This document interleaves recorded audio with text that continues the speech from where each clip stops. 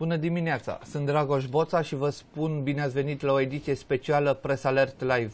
Invitatul acestei dimineți este președintele Camerei Deputaților Valerius Gonea, deputat de Dolj, venit uh, acum în campanie electorală să susțină candidații PSD la europarlamentare. Vom uh, intra în scurt timp într-un dialog cu domnia sa. Dacă vreți să-i adresați uh, întrebări, o puteți face pe pagina de Facebook a Press Alert de pe Facebook, pressalert.ro.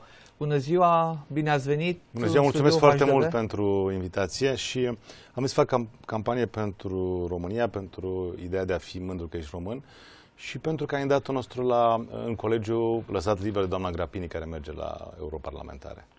Sunteți uh, mândru că sunteți uh, român, uh, chiar dacă faceți parte dintr-o clasă politică în care lucrurile nu sunt tocmai plăcute în ultima perioadă și haideți să luăm numai declarația făcută de președintele Traian Băsescu în urmă cu câteva zile chiar de pe scaunul pe care dumneavoastră stați în care spunea că dacă trebuie coboară în mocirlă să se bată cu Victor Ponta și implicit cu PSD-ul. Bun, haideți să facem această declarație, să o splităm în cele trei abordări pe care le aveți. Eu sunt mândru că sunt român pentru că în ultimii cinci ani de zile am avut la Bruxelles o echipă care s-a bătut pentru România. O echipă care s-a bătut și pentru dumneavoastră și pentru fiecare român. O echipă care a încercat să nu bârfească România și românii la Bruxelles, a încercat să prezinte lucrurile bune pe care le-am făcut și să modeleze societatea așa cum cere o societate modernă și europeană.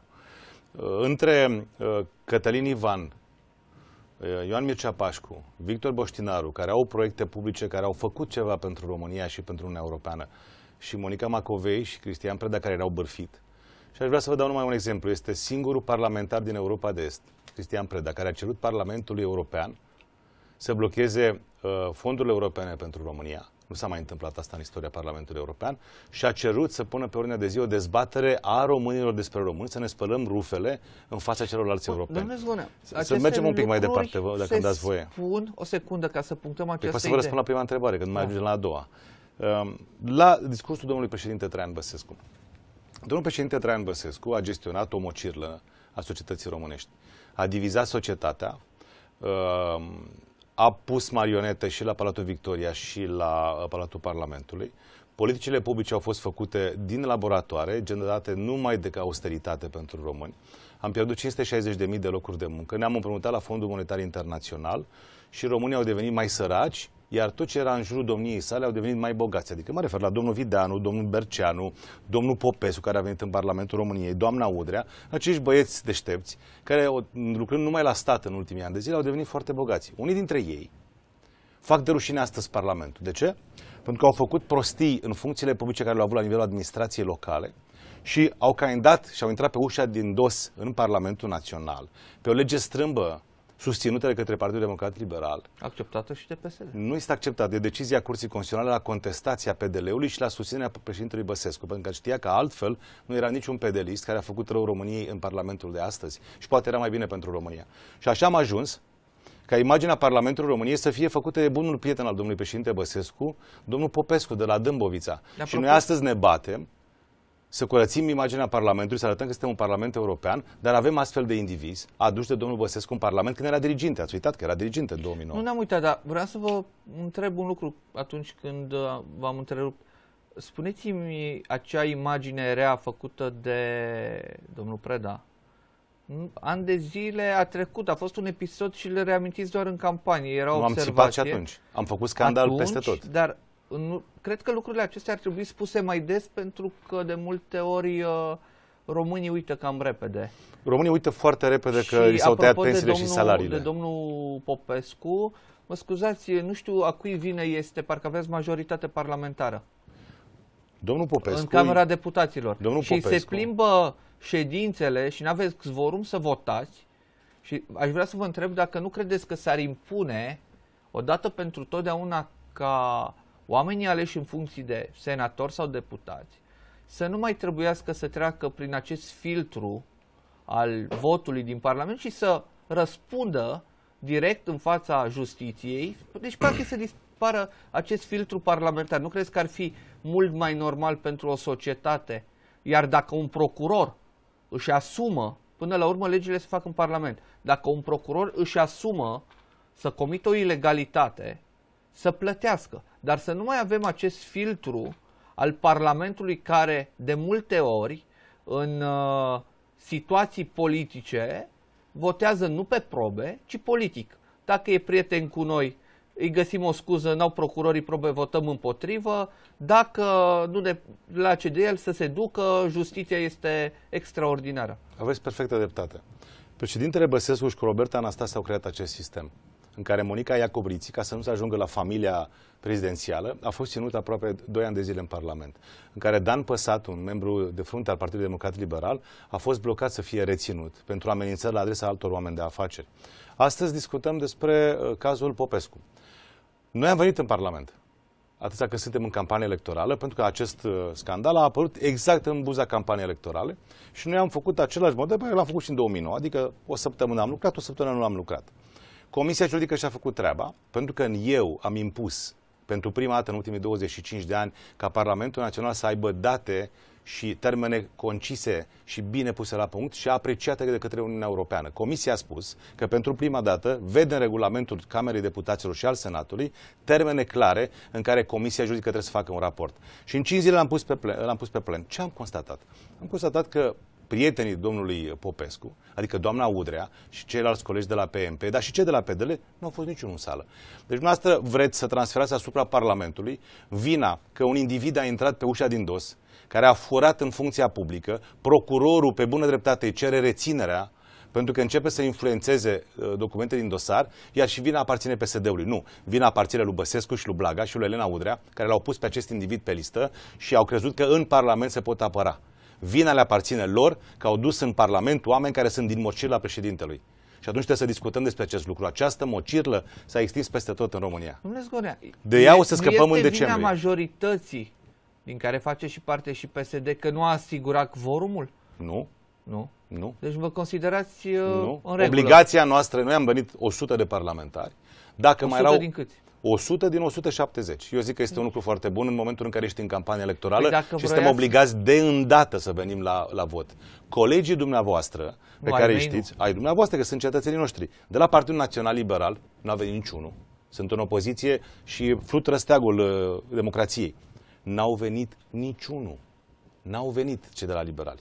Iar la Partidul Democrat Liberal și la uh, PMP n-a fost decât domnul Popescu, care se plimba pe coridoare, foarte uimit că nu se poate face în vorum. Eu vă spun ceva, PSD-ul nu are 50%. Dacă avea 50% în Parlamentul Național, eu vă spun cu siguranță că îi se ridica imunitatea și permiteam procurorilor, pentru că tot dumneavoastră jurnaliștii, din presa scrisă și online, a spus că pe 27 decembrie nu să vină niciun parlamentar. Și eu am demonstrat că am reușit să-i conving pe toți colegii mei, pe 27 decembrie am venit și acel uh, deputat șpăgar, și el intră tot pe ușa din dos ca și domnul Popescu, cu 2-3 mii de voturi, a fost trimis uh, în arest preventiv mm-hmm. și uite că a fost condamnat mai puțin de ani de zile de către da. înalta uh, curte de casație. Nu, nu mi-ați răspuns la întrebare. Credeți, ba, că ar trebui, foarte clar. Nu, credeți că ar trebui scos acest filtru parlamentar în cazul senatorilor și deputaților? Cred că trebuie să-l întrebați pe domnul Antonescu, care a plecat un pic din țară în timpul războiului, pentru că dânsul nu, e într-o campanie. Vorbeam la nivel general, nu, păi, domnul Lăsați-mă să, să vă termin. Trebuie să-l întrebați pe domnul Antonescu, pe domnul Băsescu, pe domnul Blaga, de ce blochează o modificare a Constituției. Pentru că noi susținem acest lucru. Suntem în cele șapte state europene cu cea mai mică imunitate parlamentară pentru declarațiile politice și pentru vot. Deci dosarul domnului Popescu va pleca. Numai că mizeria rămâne în Parlament mizeria rămâne la noi, în casa noastră, Palatul Parlamentului, care este Parlamentul Național dintr-un stat european. Și această vină aparține celui care l-a pus pe listă și celui care îl protejează în acest moment. Această gașcă de opoziție, de dreapta, care ne-au păgat pe noi în sărăcie și în austeritate, acum vin și ne spun că au un om de-al lor care l-a promovat în Parlament, dar ei ar vrea să vină să-l dea afară, să-l trimită în arestul preventiv, dar nu, nu găsesc ușa să intre la Parlament. Pe cum nu o găsiți? Dumnezeu, nu o găsim, dar nu puteți să veniți dumneavoastră să ne ajutați pe noi. Păi eu v-am pus pe listă? Nu. Cine l-a pus pe listă? Domnul Băsescu cu domnul Blaga. Al cuie? Al opoziției. Atunci asumați-l.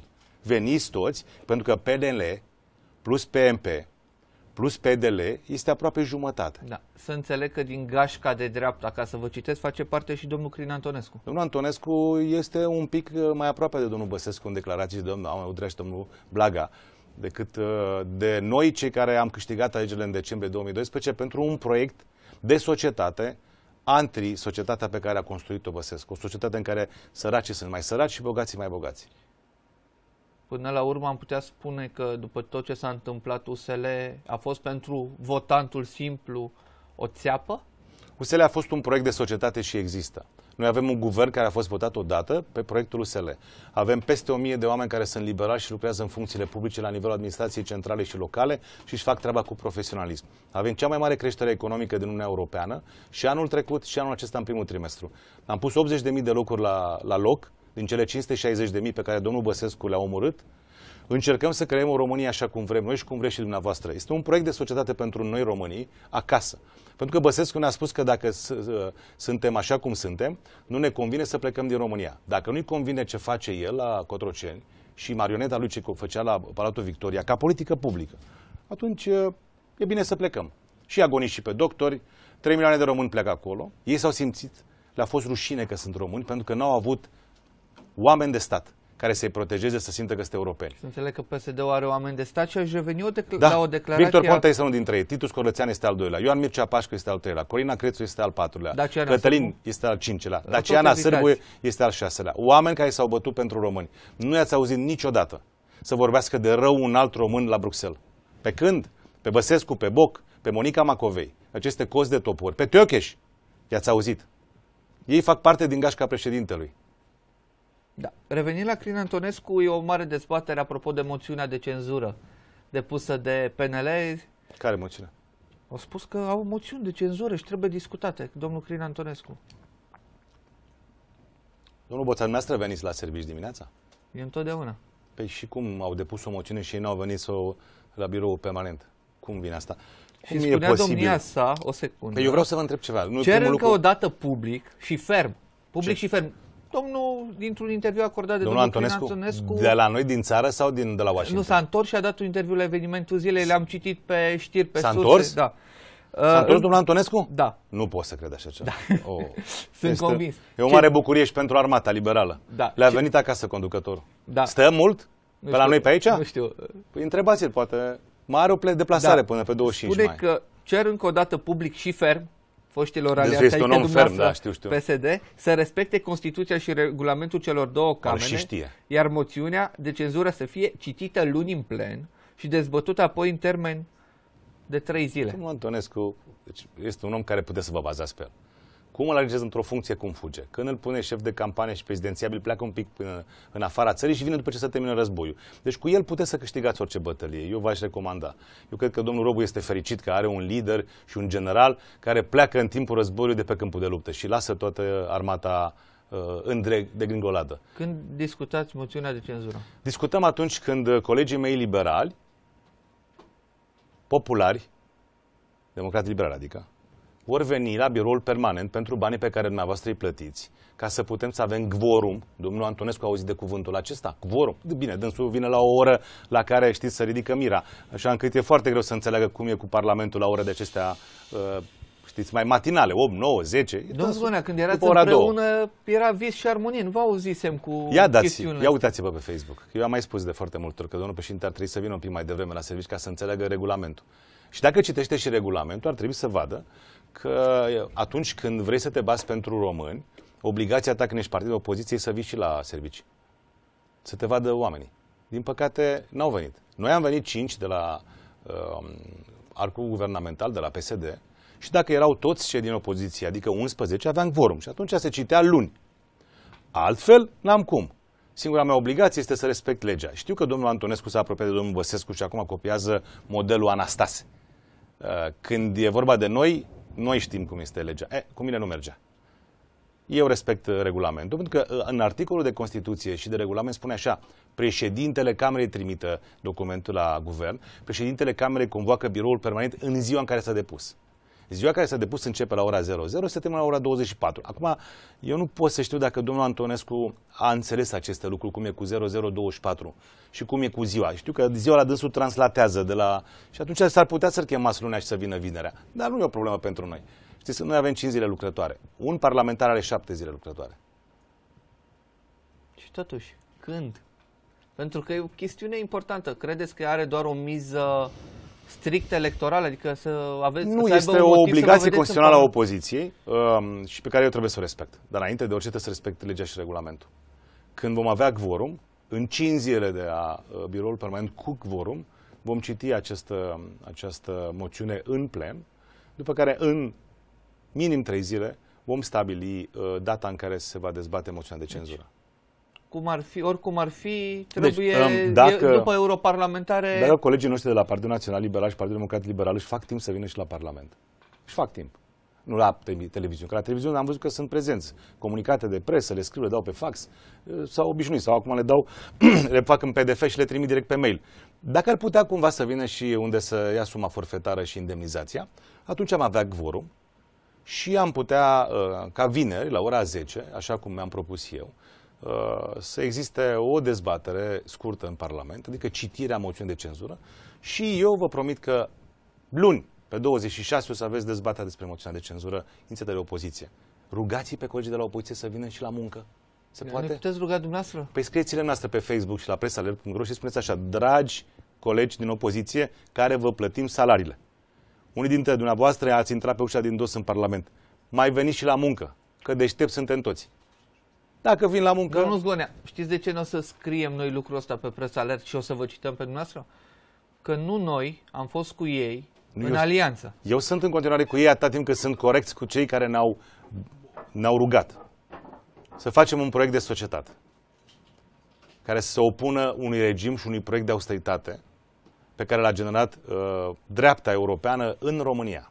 Și atâta timp cât vor respecta acest proiect și planul de acțiune pe care l-am angajat împreună acum câteva luni de zile, colegii mei liberali vor avea întotdeauna ușa deschisă la mine. Dar în momentul în care manipulează, mint cu nerușinare, ca cei de la PDL, este foarte greu să le dau dreptate. Și sunt extrem de nemulțumit. În momentul în care sunt în continuare la guvernare, au oameni care creează politici publice, aplicăm politicile publice propuse de liberali și domnile lor depun o moțiune de cenzură și nici măcar nu vin la ea ca să putem să o citim. Păi, ce vă oprește să scoateți pe liberalii care fac politici publice acum din funcții și să-și asume PSD cu PC și cu uh, domnul Oprea, cu NPR-ul, toată guvernarea, ca să nu mai spuneți, pentru că e un hibrid. E așa o poveste, PNL în opoziție, dar cu oameni în funcții guvernamentale de decizie. Știu și în Timiș a fost un caz. Domnul Sunt. Titu Bojin, Sunt. care în perioada PDL era șeful opoziției, cu ghilimele șef, că, a, opoziție, pardon, uh, că șef era. Și era, a, făcea politica lui Boc, fiind director regional la apele române. Și vreau să vă întreb dacă vă simțiți bine cu astfel de colegi. Eu aș vrea să vă spun un lucru foarte simplu. Domnul Boța, noi suntem o societate care Băsescu ne-a făcut să fim primitivi. Și să considerăm că un om, dacă nu are o culoare politică și nu are un carnet de partid, nu se poate angaja. Un copil nu poate să uh, își termine o școală dacă nu are o culoare de partid, la părinte acasă, ca să poată să aibă un loc de muncă după ce termină liceul sau facultatea. Am început să vedem aceste lucruri și vedeți dumneavoastră un jurnalist de renume pentru zona Banatului, um, le vedeți în aceeași paradigmă. O mare greșeală pentru o societate democratică și europeană. Un profesionist, un om serios, indiferent cine guvernează România, trebuie să aibă dreptul la un loc de muncă, plătit decent, și la speranța acolo unde își face treaba cu profesionalism, nimeni nu îl întreabă ce face după ora 18 sau 19 și ce culoare politică are. Domnule Zgone, aș putea să fiu de acord cu dumneavoastră într-o singură condiție. că trebuie să fiți pentru că sunteți european. Nu. Știți când? Când aș vedea că acel om, când stă la serviciu, își face treaba ca profesionist, dar atunci când este șeful unui partid de opoziție, își face și acolo treaba, atâta timp cât eu îl văd că el stă cu dușmanul de la partid și face, bate, ă, bate cinciu, cum spun copiii, în spatele blocului. Și la partid se face că ninge și este parte a unor tunuri și este parte a unor uh, chestiuni cu is penal, nu pot să mai fiu Hai de să separăm, acord. să separăm lucrurile. Nu mai Prim- pot să fiu de acord că profesionistul trebuie să rămână. Da, profesionistul trebuie să rămână Sunteți dacă de ar fi acord? profesionist în ambele părți. Haideți să mergem pe o logică simplă. Sunteți de acord că fiecare om are dreptul la un loc de muncă? Ar fi- Sunteți Da, de da. acord că modelul pedelist băsist, în care cine nu e cu noi împotriva noastră și trebuie dat afară de la, de la servici, este un model greșit pentru societatea românească? Nici în vremea lui Adrian Stase, și dacă numai- nu erai pesedist, nu ți era tocmai Noi am bine. plătit pentru vremea respectivă, dar n-au plătit și românii. Era creștere economică, erau locuri de muncă, era bunăstare în fiecare familie. Acum, pe vremea domnului Băsescu, în regimul pe care vrem să-l eliminăm în noiembrie, au plătit românii. Această factură a bunăstării lor și a regimului lor au plătit-o fiecare român. S-au închis școli și spitale. Eu vă spun că de la 1877 nu s-a mai închis un spital în România și o școală. Asta este o rușine pentru orice conducător. Și să vii acum să ai pretenție că ești european și democrat și euroatlantic este o rușine pentru oricine să aibă încredere în el. Eu vă spun despre românul simplu, care vrea să vadă un conducător în care are încredere că plătindu-și taxele și impozitele, nimeni nu-l dă afară de la locul de muncă pentru opinia sa politică. Eu am luptat în Revoluția din 1989 ca să pot să mă le eh, exprim liber, dar să nu mă dea nimeni afară. Eram ceferist. Ce înseamnă asta? Că domnul Băsescu, care era ministrul meu atunci, trebuia să mă dea afară pentru că eram uh, pedeserist la vremea respectivă. Acest model de societate nu este un model de societate europeană. Este o dictatură și un sistem, un regim care trebuie să plece din România. Și acum mergem mai departe pe logica pe care vă spun eu. Acești oameni liberali care au pus sumărul și au muncit împreună cu noi, ca în decembrie să luăm 70%, cea mai, cel mai mare scor dintr-o alianță europeană din ultimii 25 de ani din Europa de Ce ați Est. făcut cu 70% Și am, ales praful? haideți să vă spun ce am făcut. Am făcut 80.000 de locuri de muncă, cea mai mică inflație, cea mai mare creștere economică, macrostabilitatea economică, cel mai mare Domnul sistem de, Zune, ne-ați atins cel mai mare sistem de principalul investiții, punct încredere. politic. Am plătit salariile și pensiile la timp, le-am majorat cu inflația pentru prima dată. Nimeni nu mai țipă că agricultura nu primește subvenții la timp. Nu vedem. Câteodată uităm să vedem lucrurile, uh, dacă vreți, normale dintr-o societate. Și am demonstrat că în România, un stat european și euroatlantic tânăr, se poate face politică de dezvoltare și progres pentru români fără să le iei banii de la, de la gură și să-i dai afară de la locul de muncă.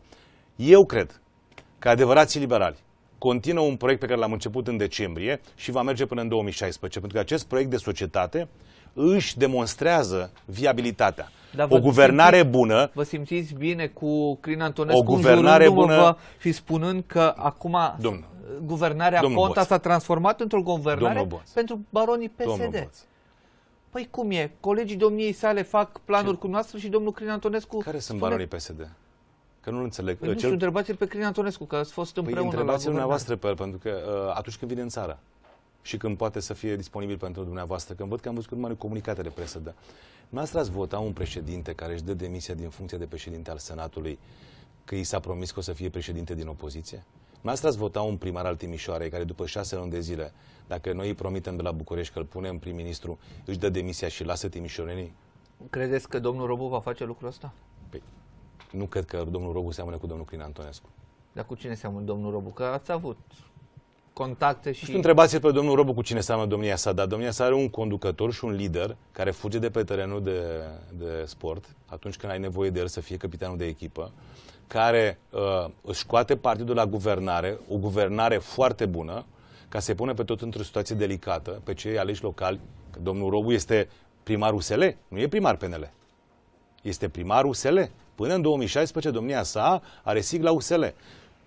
Și eu cred că în acest moment Am o veste domnul Antonescu s-a descalificat pentru orice funcție publică în momentul în care cetățenii îți dau puterea a doua în stat și tu renunți la ea pentru un proiect personal. Domnul Zgune, am o veste proastă pentru dumneavoastră. Vă rog frumos. Foarte proastă.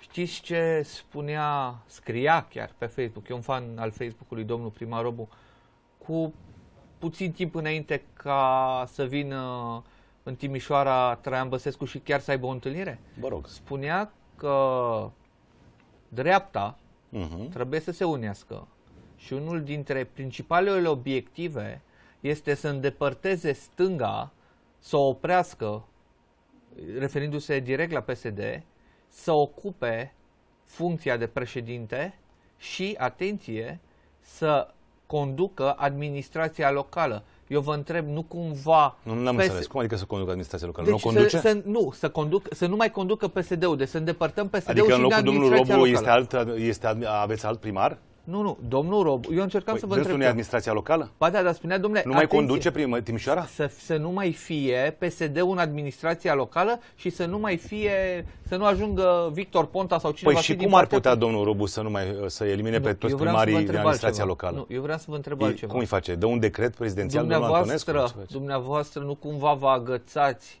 că Robu este primar sau cât de ok este ca dumneavoastră să susțineți în continuare Robu este un primar USL, iar este- Robu să spună, domne, hai PSD-ul mai puțin mai încolo că mă deranjează Stoia, că mă deranjează declarațiile lui Grindeanu, că Asta- nu-mi place. Diferența că... între Hai noi că- și domnul Robu este una majoră. Noi, când am plecat cu un partener la drum, îl susținem. Noi susținem proiectele domnului Robu pe care le-a promis în campanie, pentru că sunt voturile socialdemocraților lângă voturile colegilor liberali, conservatori și uneperiști. Um, Eu l-aș ruga pe domnul Robu să facă mai multă administrație și mai puțină politică, pentru că el a fost votat primarul Timișoarei. Și eu cred că trebuie să demonstreze. La mine și la premierul Victor Ponta va avea întotdeauna ușa deschisă, pentru că proiectele domniei sale fac parte din proiectul de guvernare al Uniunii Social-Liberale. Victor Ponta, din punct de vedere al Parlamentului României, este primul ministru USL, are un proiect de țară USL și noi îl continuăm pe acesta. Și deocamdată atâta timp cât avem progres, recunoscut și de cei mai mari dușmani ai noștri, și putem să creăm locuri de muncă și putem să-l ajutăm pe domnul Robu să-și facă proiectele care le-a promis, asta înseamnă că guvernarea USL nu seamnă cu cea de dreapta. Știți ce făceau aia de dreapta, nu? Erați aici, în România, când tăiau toate proiectele de opoziție și le puneau numai pe ale lor. Uitați că azi îl avem pe domnul Popescu, care asta a făcut, știți, cu măsura 322. Din păcate... Domnul Zgonea, știți, eu sunt printre Asta e ziariștii care în vremea PDL-ului, aici în Timiș, Știu. eram singurul care scriam despre ce Știu se și întâmplă la apreciez Consiliul foarte mult. Județean. Scriam despre cum fură bani publici prin contracte Alin Popoviciu prin rude și știți ce se întâmpla la PSD? Nimic. Nu am auzit un cuvânt. Sunt cazuri gra- groaznice, dovedite de justiție. Ce să faci cum e cazul lui Ostaficiuc, care a fost găsit în conflict de interese de ani și apoi de înalta curte de casație și justiție, sentință definitivă. PSD Timiș nu a spus nimic. De ce m-aș duce eu acum la europarlamentare sau la prezidențiale să votez un candidat pe care îl garantează Titu Bojin, omul care, în guvernarea PDL, nu a spus nimic, nu a făcut nimic despre cum s-a furat. Spuneți-mi, e, câtă încredere Domnul să am Boțan. un astfel de om? Că e Eu garantat aș, dacă aș vrea, v-aș, Titu uh, Bojin, v-aș adică- separa, nu este garantat Titu Bojin, v-aș separa această întreb, uh, întrebare a dumneavoastră în două chestiuni. Timișorenii, toți, din județul Timiș, au votat Bojin și cei din uh, Timișoara au au votat USL, cred că. Lăsați-mă să termin. Și cei din Timișoara au votat Robu, doi candidați USL. Deci au votat pe amândoi la pachet. Pentru ce? Pentru o administrație puternică, pentru bunăstare, pentru securitate și siguranță. Nu, eu și votat pentru, pentru Jos Băsescu. și vă pentru, spun. și pentru un proiect de societate în Timișoara și în Banat, care să le aducă, uh, dacă vreți, încredere că sunt europeni. Aceasta este prima chestiune. Celălalt candidat care candidează pentru funcția de deputat în Parlamentul României, eu cred că CV-ul și istoria domniei sale, domnul doctor, poate să demonstreze că nu să trimiteți în Parlament un profesionist care știe foarte bine ce trebuie să facă pentru sistemul sanitar românesc. Și dacă discutăm despre această chestiune și ne uităm la ce candidat propunem noi și ce candidat propun ceilalți, cred că diferența este foarte mare pentru orice timișorean. Și mergem și mai departe. Eu cred că în acest moment, noi am demonstrat în doi ani de la guvernare că se poate face guvernare și fără să furi. Iar eu sunt politician și nu m-ați auzit niciodată în istoria mea de 14 ani să-mi exprim opinii vis-a-vis de actul de justiție sau uh, despre cercetările pe care le fac procurorii. Este dreptul procurorului să facă cercetare. Dumneavoastră este jurnalist de investigație, ați descoperit un caz. Noi, ca politicieni, nu avem dreptul să interferăm în actul de justiție. În regulamentul nostru, și aceasta este ultima frază pe care vă spun, scrie foarte clar, în momentul în care se deschide o acțiune de către un procuror, oriunde din România, împotriva unui caz de notorietate prezentat de un jurnalist, Parlamentul nu are voie să facă nicio comisie de anchetă, nu are voie să exprime, exprime nicio opinie. Pentru că altfel interferăm în actul de justiție. Și această chestiune este foarte clară pentru orice politician european care este în Parlamentul Național Român. Apropo, când toți îmi spuneați de candidații de la parlamentare, întâmplător stau în colegi unde se al... vor fi alegeri. Și dumneavoastră și domnul Robu, toată lumea stă acolo. De, ce să faci? Se întâmplă. Numai că vreau să vă spun, candidații, niște afișe, niște, un flyer cu greșeli de la fiecare, părez nimic. Până la urmă, cred că va câștiga nu cel mai bun, ci... Echipa de mobilizare cea mai echipă. bună. Exact. Echipa, cine își va aduce oamenii la vot dacă e o vreme ca astăzi să fie... Bătălia pe mobilizare este cea mai importantă în ziua votului și uh, noi suntem un partid care suntem recunoscut pentru acest lucru. De aceea avem între 35 și 40% și acum în sondaje. Și aș vrea să vă gândiți la acest lucru.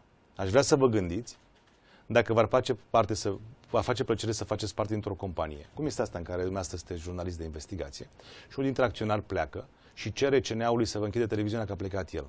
Crin Antonescu a plecat de la o guvernare foarte bună în interesul românilor pentru un interes personal. Să nu uitați niciodată acest lucru. Iar domnul Robu este ales primar și va avea întotdeauna, repet, ușa deschisă la orice ministru al guvernării USL, astăzi USD, și la președintele Camerei Deputaților. Pentru că noi credem că domnul Robu trebuie să-și facă administrație așa cum a promis în păi iunie 2012. Vă afară de la guvernarea locală. Ca de să unde să ne dea afară? Păi să faci o alianță, nu știu, cu PDL, cu restul. Cum poate să dea afară un primar sau un președinte de Constituțional? Nu, în alianță, în Consiliul Local, vorbim strict de primărie. Se Cum? modifică majoritatea și nu mai aveți viceprimar.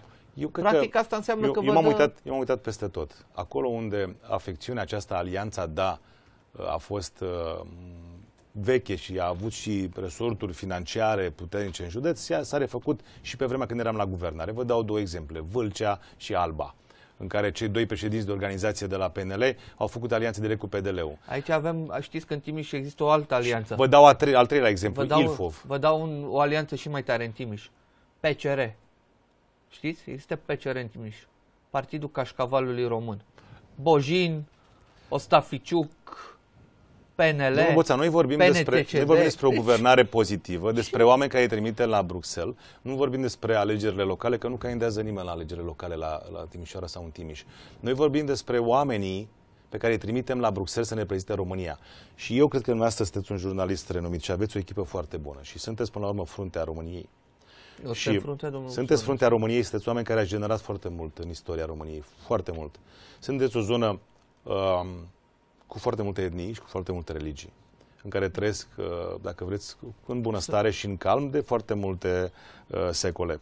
Eu cred că este momentul pentru noi să trimitem la Bruxelles oameni care să ne, să ne reprezinte, să fim mândri că sunt români. Uh, să trecem de la a fi rușine că ești român la a fi mândru că ești român. Pentru noi este important, pentru generația noastră este important să avem oameni din generația noastră care se bată pentru România. Nu se bată pentru interesul lor pentru că sunt foarte mulți bani, pentru că România trebuie să fie al șaptelea stat european, pentru că avem 3 milioane de români care muncesc și plătesc taxe în toată Europa și sunt apreciați și trebuie să vadă că există, după 25 de ani de la Revoluție, o clasă de politicieni care atunci când greșesc plătesc, dar atunci când sunt la guvernare se gândesc la interesul național și Apropo interesul public. Apropo de politicieni, hai, spuneți-mi și mi-am o curiozitate. Am văzut că doi colegi de dumneavoastră de partid, nu știu, nu cred că s-au bătut, dar de amenințat s-au amenințat.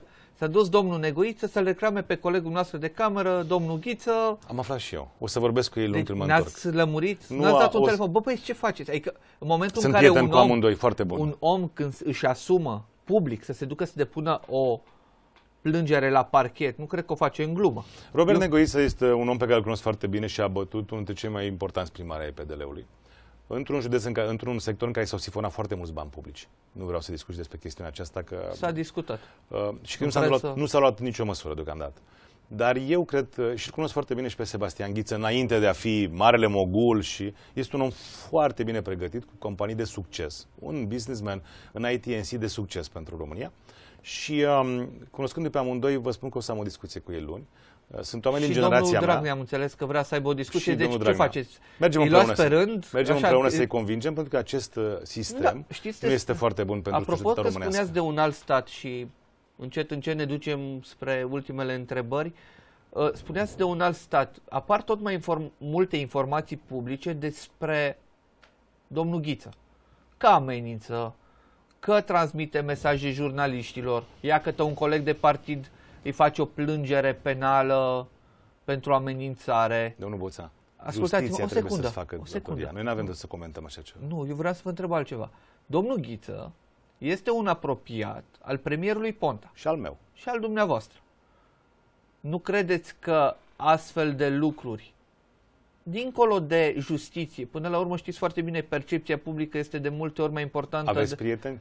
Mai mult decât... Nu poți să aveți prieteni? Nu, stați, lăsați-mă că nu, Sunteți nu mă încurcați. A, a, nu mă încurcați. Nu, dar puteți dumneavoastră să gestionați nu. relațiile și nu, nu, nu. acțiunile prietenilor? Nu. Vreau să vă întreb Prietenia altceva. este bazată pe alte valori. Da, perfect. Dar când uh, vorbim de oameni care au demnități publice și girează prin prietenia publică a lor, astfel de oameni, nu credeți că până la urmă, dincolo de prietenie, partidul va avea de pierdut dacă, nu știu, într-o zi se supără domnul Ghiță și trece la fapte. Nu știu. Zic și eu, ipotetic. Eu, eu aș pleca din acest demers jurnalistic, care este unul abil și bine pregătit.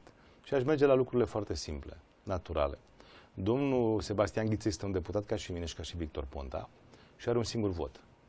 Domnul Robert Negoiță este vicepreședintele partidului și are în interiorul biroului permanent un singur vot. Suntem egali, deci nu e niciunul mai presus decât celălalt. Relațiile uh, personale din afara scenei politice nu au nicio legătură cu scena politică. Eu cred că această chestiune este o chestiune între doi oameni care întâmplător au și funcții și uh, funcții publice, demnități publice. Eu aș vrea să luați ca o ceartă între doi prieteni care uh, are într-un moment uh, al vieților și uh, o tensiune mai mare decât ar trebui. Datoria celorlalți prieteni este să îi împace, să vadă care sunt cele mai bune soluții. Dar cum îl împăcați pe domnul că... Ghiță cu ceilalți care spun că îi amenință? Eu n-am văzut pe ceilalți. Eu cred că dacă există amenințări, justiția își face treaba, nu sunt eu obligat ca parlamentar și președinte al Camerei sau domnul Victor Ponta, care este un alt uh, prieten al domnului Sebastian Ghiță și al lui domnului Robert Negoiță, în mare, în aceeași măsură, să facă acest lucru. Datoria noastră ca prieteni este să împăcăm pe prietenii noștri care s-au certat să știți. Asta este o societate în care trebuie să ajungem, în care să existe coeziune socială. Pentru că dacă ne uităm la partidele de dreapta, Băsescu asta a făcut. A divizat, ne-a făcut să ne urâm între noi. Profesori cu elevi, doctori cu pacienți, muncitori cu ingineri, patronate cu cei Bun, de la stat. De, de discursul politic v-aș întreba un lucru apropo Asta de Victor realitatea. Ponta. Asta este realitatea. Pe care noi, jurnaliștii, am comentat-o așa cum a fost la momentul oportun. Acum sunteți la putere, ce să facem? Trebuie să ne ocupăm de dumneavoastră. guvernăm bine. Este opinia dumneavoastră. Nu, este opinia statisticii. Perfect. Uh, vreau să vă întreb un lucru. Victor Ponta, îl trimiteți în noiembrie la Cotroceni? Eu sunt prieten cu Victor Ponta de foarte mulți ani. Eu văd în el un lider european. Un lider care este în stare să aducă pe toți la aceeași masă și să dialogueze. Un om care este respectat și apreciat în Europa, care sună fiecare prim-ministru, pentru că are relații de prietenie cu fiecare.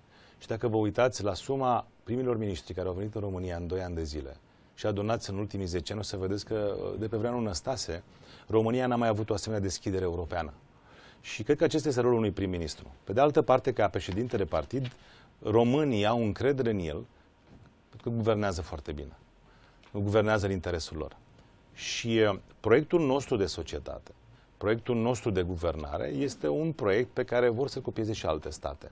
Și este lăudat, inclusiv de partidele de dreapta. Întrebat, îl trimite sau nu la este lăudat, este lăudat inclusiv de către presa scrisă de dreapta și în acest moment, Victor Ponta, dacă partidul va decide, este un candidat cu reale șanse să schimbe România după 10 ani de guvernare de dreapta, și uh, să fim mândri că suntem români, domnul Boța. Până la urmă, avem nevoie de un președinte care să genereze coeziune socială, progres și stabilitate în această zonă. Credeți că Victor Ponta va câștiga în fața unui candidat al unei drepte unite? Chit că cred, această dreaptă unită cred că Victor este Ponta, mai mult decât ipotetică, având cred în vedere Victor Ponta în acest de moment are calitățile unui lider modern pentru secolul 21 de care România și regiunea are nevoie.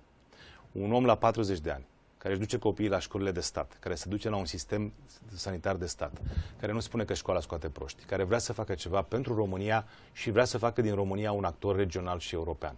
Eu cred că acesta este modelul pe care noi trebuie să-l promovăm, pentru că statele din jur să uită la modelul nostru de integrare europeană și vor și ele din experiența noastră.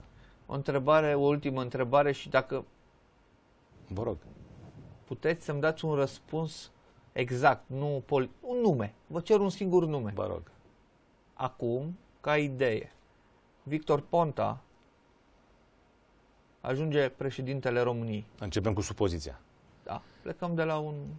Un fapt aproape, aproape, Nu, aproape nu, nu vreau să vă sigur. întreb ca și pe președintele Băsescu. Când? Vă, vă rog. Că vă supărați. Și nu. Între 2 și 16. Eu zic Între pe 2 și 16, 16? 16 noiembrie. Ok. Uh, spuneți-mi pe cine ar vota în acest moment în locul lui Victor Ponta, PSD-istul cu un singur vot, Valeriu Sconia să fie președintele partidului, cel care să ducă mai departe politica lui Victor Ponta. Eu cred că uh, România Numele. și PSD-ul are suficient de mulți generali care Numele poate să conducă dumneavoastră. acest lucru.